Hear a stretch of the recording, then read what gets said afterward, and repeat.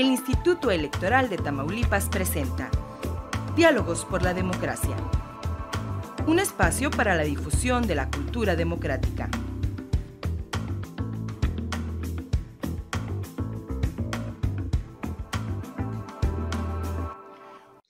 Hola, ¿qué tal? Le saludo con el gusto de siempre en esta que es la emisión número 697 ya 697 emisiones de diálogos por la democracia. Esta es para el sábado, este sábado 27 de noviembre. Le agradezco mucho el favor de su eh, compañía y le hago llegar un afectuoso saludo de parte de todos, todos los que trabajamos en el Instituto Electoral de Tamaulipas. Hoy tengo el gusto nuevamente de compartir eh, la mesa de diálogos por la democracia con la consejera presidenta de la Comisión de Organización Electoral del IETAM, la licenciada Italia Araceli García López, a quien agradezco mucho el que nos haya eh, aceptado la invitación y que nos acompañe en esta ocasión en este programa. Bienvenida, eh, licenciada, ¿cómo está? Muy bien, pues muchísimas gracias. Al contrario, eh, gracias por brindarnos este espacio para comunicar a tu público todo lo que estamos haciendo aquí en, el Instituto Electoral de Tamaulipas por parte del área de organización. Y pues bueno, un placer acompañarte en este programa. Eh, eh, gracias que, aceptó la invitación porque sé que trae mucho trabajo. uno de ellos, mm, muy, muy importante, incluso que inició desde antes de que diera inicio eh, eh, formalmente el proceso electoral 2021-2022 es la integración, el procedimiento o el proceso de integración de consejos electorales digitales o de estos que, hemos, eh, que, que se llaman formalmente en el Instituto Electoral de Tamaulipas órganos desconcentrados. Llegamos finalmente a la última etapa, eh, licenciada. Llegamos a la última etapa de este procedimiento de integración de, consejos electorales digitales, etapa que nosotros conocimos o conocemos como eh, la etapa de entrevistas. Yo quisiera, para precisamente para darle eh, continuidad al ejercicio, que este programa lo dedicáramos precisamente a ese tema y que nos platicara desde cuándo empezaron con las entrevistas, cuáles fueron las sedes, quiénes participaron, cómo se llevó a cabo todo esto. Sí, muchísimas gracias. Pues primeramente, este, no debemos olvidar que la integración de los consejos distritales son por ciudadanos, son un órgano ciudadanizado. ¿Esto qué implica? Que nosotros tenemos que seguir un proceso de selección, tal como lo marca en la ley, y pues nosotros como instituto implementamos varios filtros. El primero de ellos, pues un examen. Eh, todos los ciudadanos y ciudadanas están convocadas, este, todos pueden participar, se analizan sus requisitos. Ella, eso ya se hizo en las primeras etapas que empezamos este, por allá desde agosto ya formalmente a, analizar los requisitos. Y pues bien, al final de, cuentas, después de todo este proceso, pues llegamos a la etapa de entrevistas, que ya es el contacto directo que tienen los aspirantes con nosotros los consejeros. En esa etapa a nosotros nos permite conocer un poco más de sus habilidades, de las fortalezas de cada uno de los aspirantes y así nosotros este, tomar una decisión para la integración de los consejos distritales.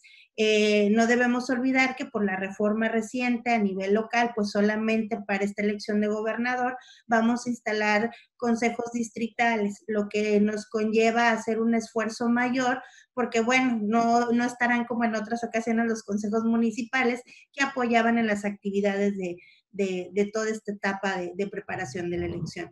Entonces, desde el, desde el 15 de noviembre, eh, los consejeros este, iniciamos con la etapa de entrevistas, eh, armamos este, varios equipos, hicimos este, tres grupos, de esos tres grupos este, se componen por, por tres vinas. Eh, la primera de ellas este, me tocó como grupo uno con el consejero Eliseo García, y una servidora. El grupo 2 lo integró la consejera Débora González Díaz y la consejera Mayra Lugo.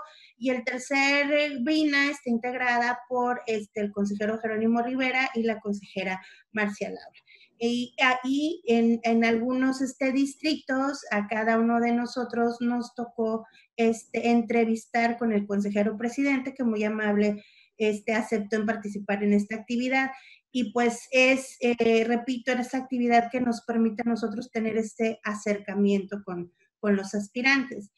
Debemos también hacer notar que el contexto de pandemia que aún vivimos, pues dificulta esa interacción. Anteriormente nosotros como consejeros nos eh, viajábamos a las sedes para pues estar de manera presencial llevando a cabo estas entrevistas sin embargo, precisamente aplicando el protocolo de atención este, por, por la pandemia, pues solamente destinamos grupos reducidos para ir a sedes como lo fue en Madero, fue en Reynosa, Nuevo Laredo, Matamoros, Ciudad Victoria, El Mante, y bueno, fueron este, colaboradores en un grupo muy reducido donde prestaron todas las atenciones para que los aspirantes este, tuvieran a bien a, realizar su entrevista en las mejores este, condiciones, salvaguardando, por supuesto, en todo momento la salud de todos los participantes.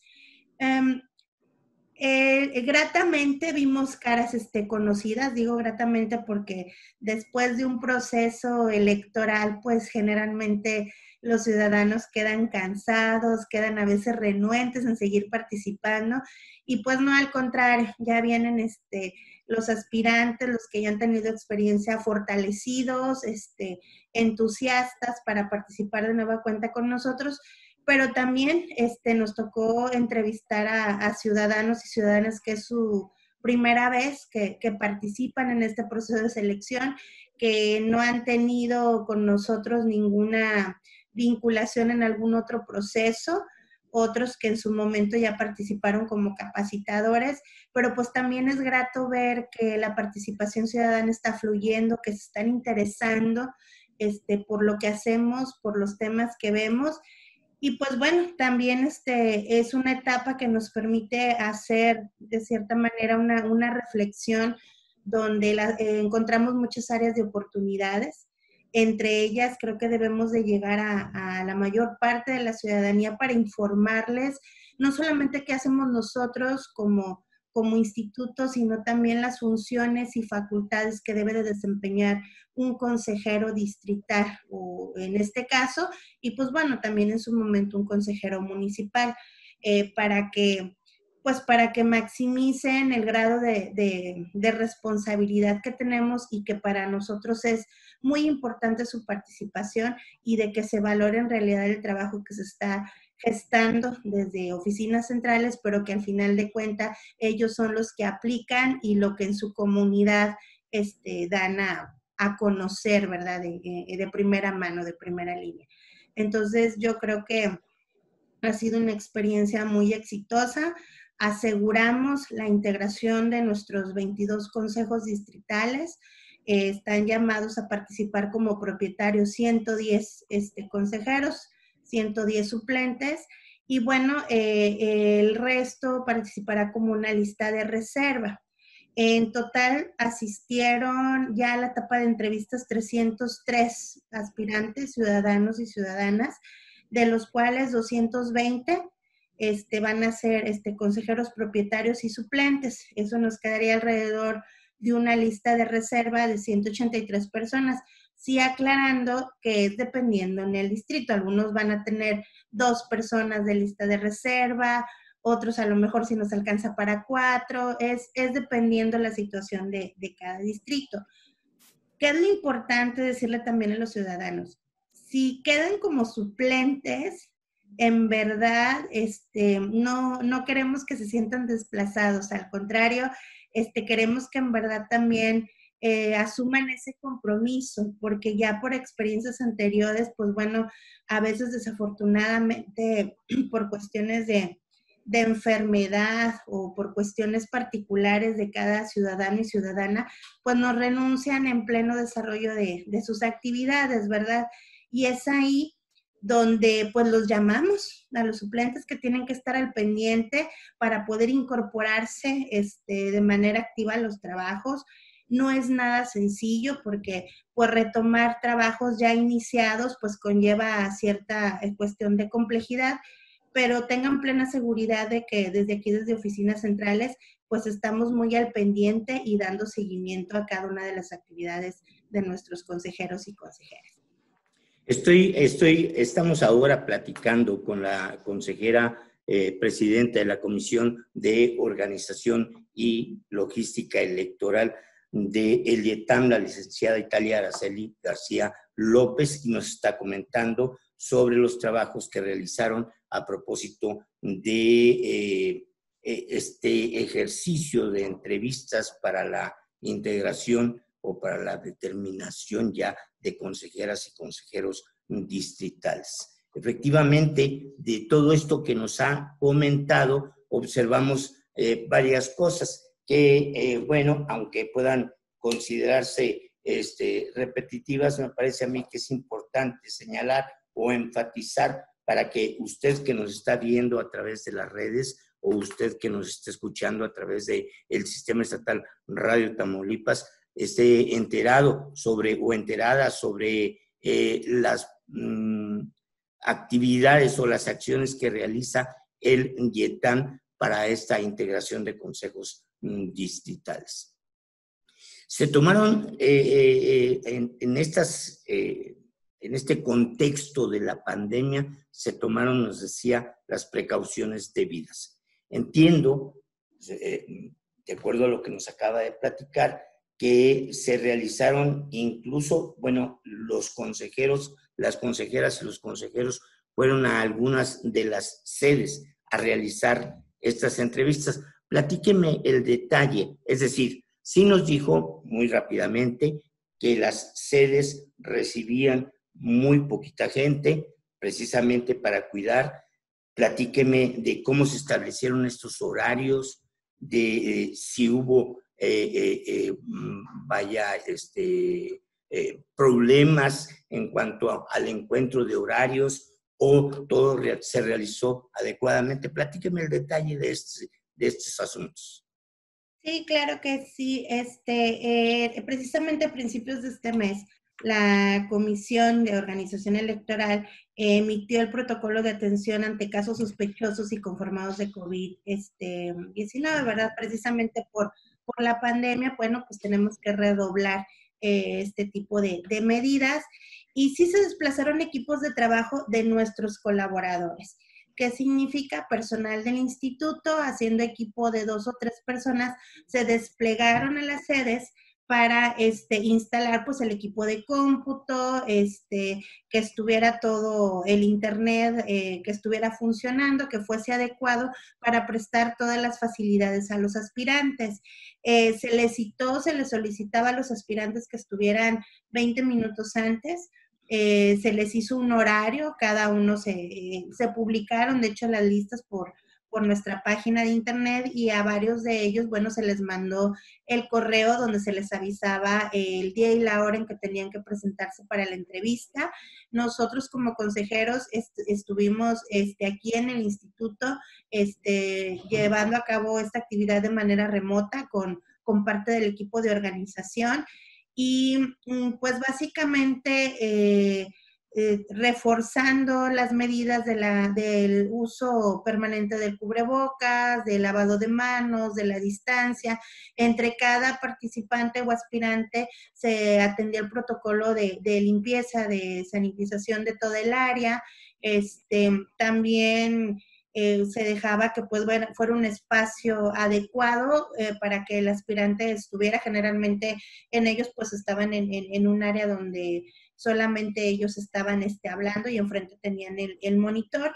Y además ese protocolo nos permitía de que si algún aspirante llegaba con algún síntoma o con, o con fiebre, con tos o con gripa, bueno, el filtro que, que, que, la persona que estaba en la entrada, pues lo notificara y se le agendaba esa cita, ya sea para caso, para ese mismo día más tarde o en otro momento. Y para los que en su momento tuvieran algún inconveniente o hubiesen ya salido positivos de, de, COVID, pues bueno, se manejaba también que nos mandaran un correo electrónico nos avisaran para nosotros este, agendarlos en esas entrevistas y que desde su domicilio este, pudieran llevar a cabo esta actividad. Eh, lo importante era pues garantizar la participación de cada uno de las ciudadanas y ciudadanos en este proceso de selección.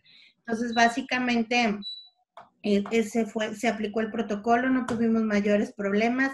Sí, por ahí en el, en el norte hubo lluvia y viento y por un momento este, se, se fue la luz, este, pero bueno, este, se, afortunadamente se, no hubo mayor problema, se, nos atrasamos a lo mejor 20 minutos, media hora, pero bueno, es parte de, de llevar una agenda tan, tan apretada porque pues sí, evidentemente los horarios eh, iniciaban desde las 9 de la mañana, a veces concluían hasta las 6 de la tarde de manera oficial, pero pues a veces sí nos colgábamos un poquito en el tiempo por las entrevistas y, terminábamos un poquito más tarde. Otros días para las 3 de la tarde ya habíamos terminado de, entrevistar a, a los que estaban agendados para ese día.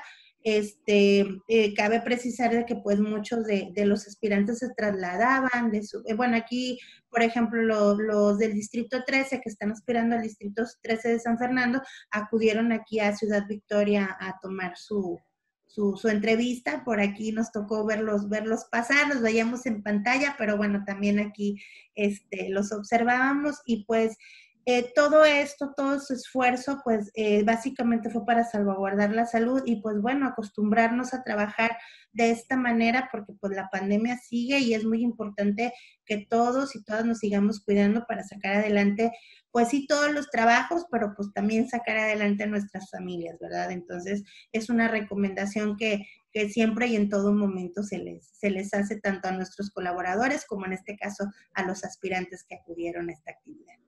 Muy bien. Ella es eh, la consejera Italia Araceli García López, presidenta de la Comisión de Organización Electoral de El IETAM. Nos está platicando sobre los trabajos realizados a propósito de la entrevista o de las entrevistas que se les hicieron a los eh, aspirantes a consejeros o consejeras electorales distritales. Sé que los testimonios o que las entrevistas como eh, testimonio como documento se resguardan por parte del IETAM. Eh, bueno, no sé si eh, se tenga acceso a esas entrevistas, pero independientemente de ello, yo quisiera que nos platicara un poco cómo se desarrolla la entrevista, más o menos cuáles son los temas, qué se les pregunta, cómo sintieron ustedes como consejeras consejeros a los aspirantes se encontraban nerviosos, dado la experiencia que ya tenían, se encontraban muy tranquilos. Platíqueme el detalle de esas cosas. Sí, pues generalmente la entrevista constaba de 20 minutos y como éramos dos consejeros quienes estábamos dirigiendo, pues nos repartíamos entre 8 y 10 minutos para llevar a cabo la entrevista. Es diferente cuando un aspirante ya ha sido consejero electoral o secretario técnico o que tuviera algún tipo de, participación ya con nosotros en, procesos anteriores. Entonces, pues nuestra área de, organización electoral pues hace una labor de investigación y nos dota de todos los elementos para preguntar desde lo que salió bien hasta las áreas de oportunidad que se les presentaron y pues evidentemente a veces por ahí sí se nos ponen nerviosos, pero bueno, es parte de crecer y de conocer esta, esta función electoral y cada proceso es diferente. Entonces, este, les hacemos preguntas de, de cómo superaron esos retos, qué se les presentaron, cuáles son las áreas de oportunidad, qué mejorarían también para nosotros es muy importante saber cómo es la comunicación entre nuestros órganos desconcentrados y oficinas centrales, porque pues desafortunadamente los consejeros no podemos estar en todos los consejos como quisiéramos, pero tenemos áreas que atienden dependiendo del tema cada uno de sus dudas y sus peticiones. Entonces también eh, ese enfoque le dimos. Los que no tenían ninguna experiencia en materia electoral, bueno, se los cuestionó qué era lo que esperaban, por qué ahora el interés. Y pues este, esto de las redes sociales, este, pues la mayoría de ellos acudió precisamente porque vieron nuestra convocatoria en redes sociales y les nació esa, esa intención de, de, de, conocer cómo, cómo trabajábamos y, y ver y esta experiencia democrática desde un órgano este, desconcentrado, desde un órgano autónomo nosotros pues tenemos el compromiso de equilibrar estos consejos. No olvidemos que es una elección a gobernador. Todas las elecciones son importantes, pero pues bueno, esta la seguimos este, desarrollando y preparando en un ambiente de, de pandemia donde pues este todo lo estamos llevando o ya nos estamos acostumbrando a tener al uso de las tecnologías y también debemos de ser muy cuidadosos. También este, conocer qué tanto ellos pueden trabajar bajo presión, porque conforme va avanzando el proceso electoral, pues los tiempos se acortan, es, es también cómo ellos resuelven, conocer de qué manera resuelven sus, sus, los problemas que se les presentan en cada momento, su, su rápida respuesta, este, y nosotros, bueno, tenemos que equilibrar ese consejo tratando de, de unir a un grupo que a veces entre ellos no se conocen. En ocasiones si tienen algún, ya trabajaron juntos o si viven en la misma ciudad, pues bueno, tienen algo, se conocen, pero en otras ocasiones son cinco desconocidos que apenas van a interactuar para un trabajo en común. Entonces, todo eso eh, ya nos toca a nosotros como consejeros equilibrarlo. Tenemos que buscar, sí, experiencia, también este juventud, también este compromiso y muy importante, disponibilidad porque si bien es cierto, no se, no se les exige que, que, renuncien a su trabajo, pues sí se les pregunta, ¿verdad? Que, que, qué tipo de trabajo realizan y si ese les va a permitir atender las tareas, porque insisto, conforme nos acercamos a la jornada y después de la jornada, pues es lo que las actividades más pesadas, o sea, donde son muchísimas horas este, que tienen que estar al pendiente. Los otros meses también, pero bueno, se pueden organizar, puede haber ahí un, un margen de horario. Acá sí a veces, este, pues son más de 48 horas las que tienen que estar constantes este, en el consejo y pues es importante que esté todo el colegiado, ¿verdad? Entonces también esa es una de las situaciones en las que hacemos mucho hincapié y que les pedimos que sea sinceros, ya retroalimentamos sobre, sobre las obligaciones, las atribuciones y las facultades que tienen y el compromiso que no solamente adoptan con nosotros como institución autónoma, sino también el compromiso que tienen ya con la ciudadanía.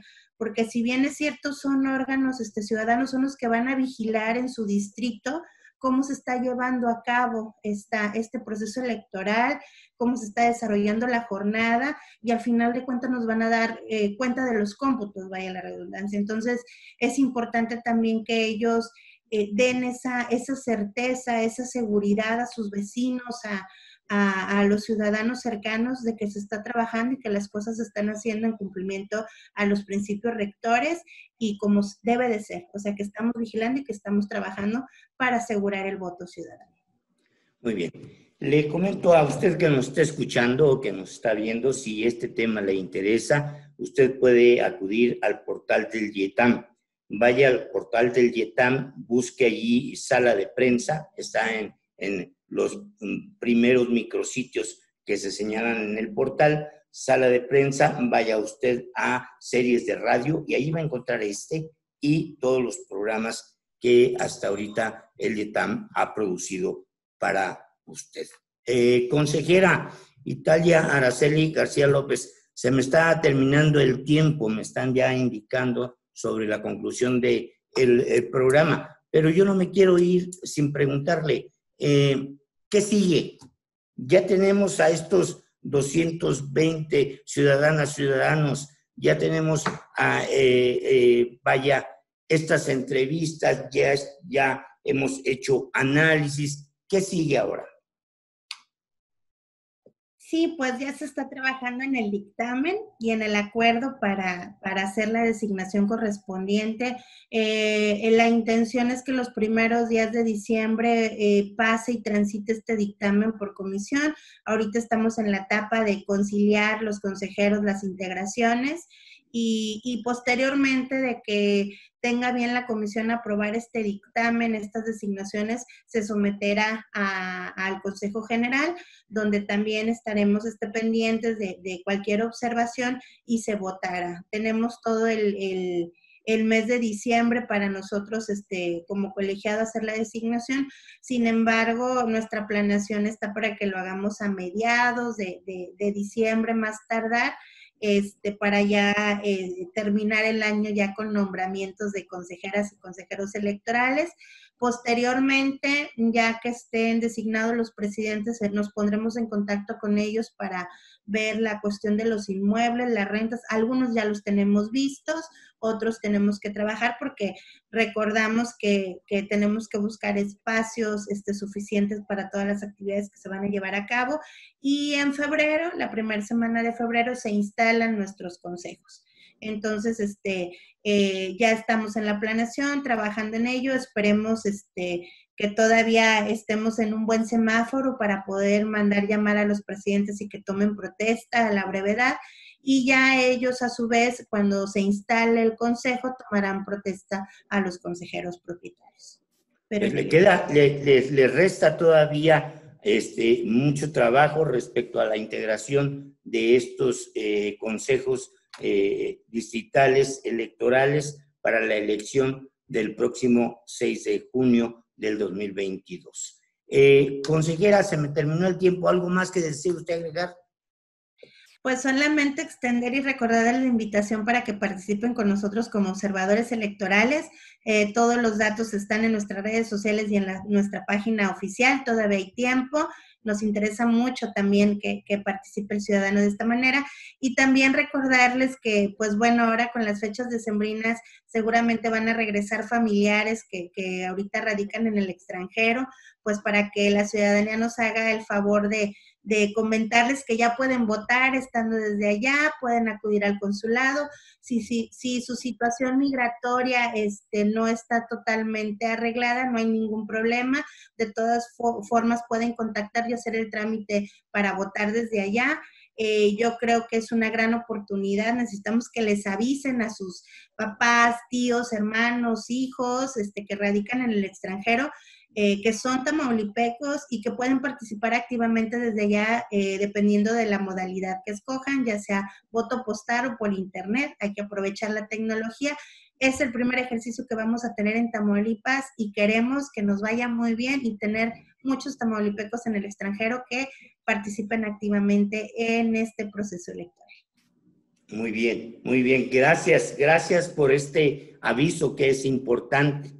De allí que yo siempre le he comentado a nuestra audiencia, a nuestros radioescuchas o a quienes nos siguen en redes o en el portal del YETAM sobre la importancia que tiene visitar el portal del YETAM, porque como lo ha dicho ya la consejera, ahí van a encontrar la convocatoria para observadores electorales, también van a encontrar toda la información detallada sobre el eh, voto de los tamaulipecos, de las tamaulipecas en el extranjero y de muchas otras actividades. Por ejemplo, que la convocatoria para candidaturas independientes sigue abierta. Los aspirantes a candidaturas independientes pueden visitar el portal del YETAM y pueden allí obtener la documentación que se requiere y empezar con el procedimiento de registro como aspirante a una candidatura independiente para este proceso electoral y participar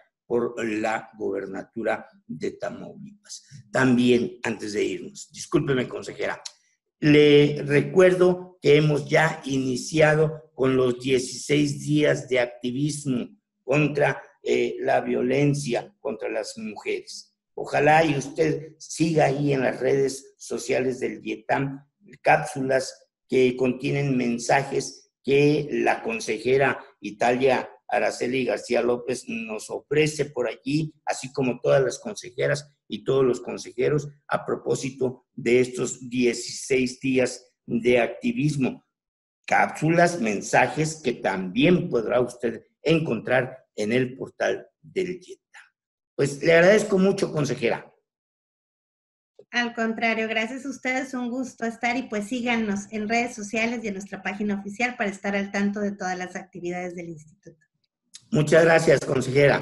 A usted que nos escucha a través del sistema estatal Radio Tamaulipas o que nos sigue a través de las redes de eh, la página de Facebook o del canal de YouTube o en el portal del IETAM, le agradezco mucho el favor de su atención y le recuerdo que la próxima semana estaremos aquí de nueva cuenta en otro diálogo por la democracia. Hasta entonces.